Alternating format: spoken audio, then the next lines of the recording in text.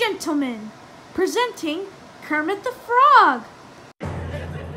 Ladies and gentlemen, it's the Muppet Files! Yay!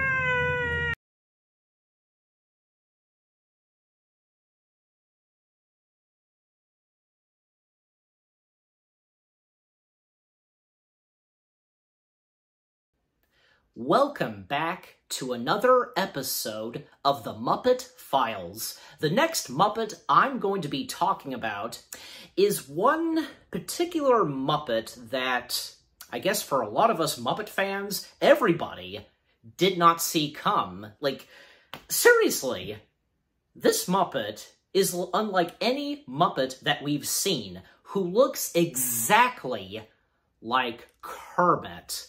And you know, he had only appeared in one Muppet film, which in fact, he was one of the main Muppet stars and the antagonist of this one Muppet film. And not to mention, coincidentally, his Muppet performer would go on to, well, be the new slash Muppet performer of Kermit. That's right, guys. I'm going to be talking about the evil frog himself with a mole, Constantine.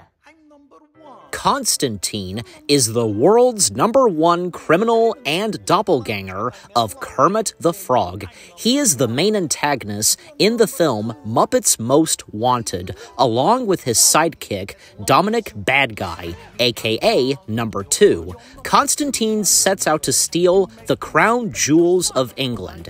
However, mayhem ensues when he gets entangled with the Muppet troupe on their European tour. He is almost identical to Kermit aside from a few details. His pupils are shaped like Kermit's, but are slanted in toward each other at a sharper angle. Kermit's signature 11 point collar is duplicated, but Constantine's is notably shorter. The most distinguishable difference is a beauty mark on Constantine's face. In the film, Constantine, concealed in a black cloak, confronts Kermit and slaps a fake mole to his face, which gets him mistaken for the evil frog and thrown in a Siberian gulag. Constantine disguises himself as Kermit by covering up his mole with green makeup, and his thick Russian accent is passed off by Dominic as Kermit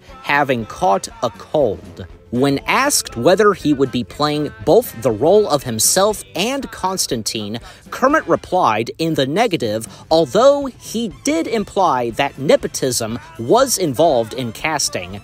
No, we talked about putting me in makeup and having me play both roles, but we decided Constantine needed to be a guy who could do a Russian accent, and, you know, I'm a pretty accomplished actor and all, but besides, the Muppet Christmas Carol and Muppet Treasure Island films, I've only really ever played myself. The great thing is, I have like 3,000 relatives back in the swamp, so it was quite easy to find a frog who would play Constantine. A 2014 article in the New York Times described the creation of Constantine, speaking to Muppets Most Wanted director James Bobin and Constantine's performer Matt Vogel. Because the other Muppets often think that Constantine is Kermit, it was crucial that he strongly resemble Kermit with only small differences. Intentionally, we were going to have him be a different color green, a slightly faded out green color, but we started doing camera tests, and it became obvious that he wasn't Kermit. The filmmakers decided on the same color and same materials as Kermit, but Constantine's collar is shorter with wider spikes, and their eyes are different. Kermit's eyes are very smiley. Constantine's eyes are more flat and slightly bending in to create a sort of frown. Kermit's head, without a hand in it, has more smiling natural position. Constance's mouth falls into a natural grimace. The final difference was the mole. It's a classic movie trope Two guys look exactly the same, apart from one birthmark or mole. We love working with these tropes into Muppet movies because they play so well. When Constantine switches with Kermit, he uses green makeup to hide the mole. In performing Constantine, Matt Vogel got one important piece of direction from Mr. Bobin Watch Octopussy, that 1983 James Bond film, includes General Orlov, considered by Mr. Bobin a quintessential Russian villain.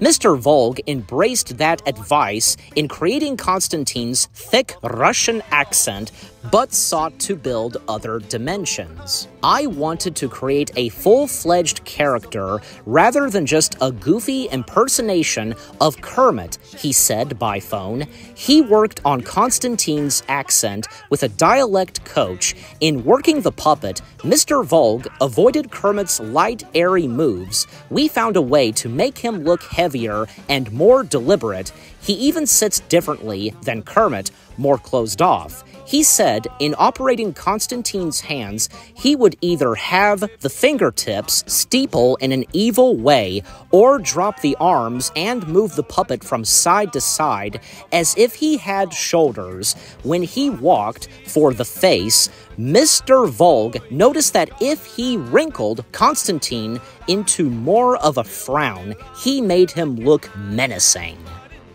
Also, a couple of other things I'd like to mention that happened with Constantine. He did make a few appearances at the Disney parks, specifically at Disney's Hollywood Studios, with Muppet Vision 3D, where he was in the pre-show, interrupting the pre-show and interrupting Scooter. He also made an appearance at the Villains Unleashed party during Halloween time. Yeah, because he actually appeared, Constantine himself, and Matt Vogel performing him. And a day after Constantine made an appearance and did a meet and greet, Matt Vogel would do the same, just as himself, at an, auto at an autograph signing at the Muppet Shop. Also, there would be like this scavenger hunt that was briefly at Epcot, which, you know, had to do with, you know, advertisement and in celebration of the release of Muppets Most Wanted, if you know about that. And Constantine would make a couple of other appearances in interviews, press, and so on, tying in, of course, with, you know, Muppets Most Wanted.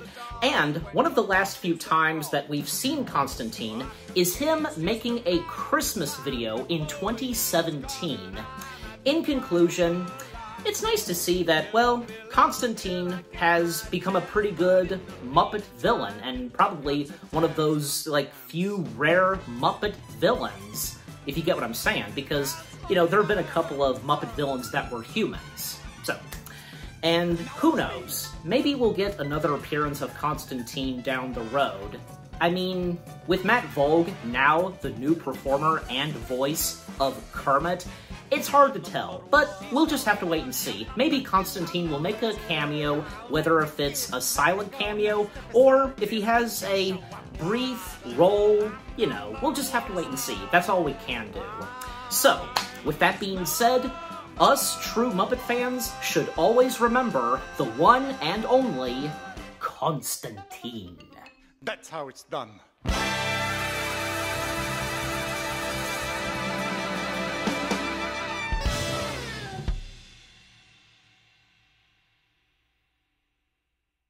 Yet? Oh no. Kermit, introduce the show!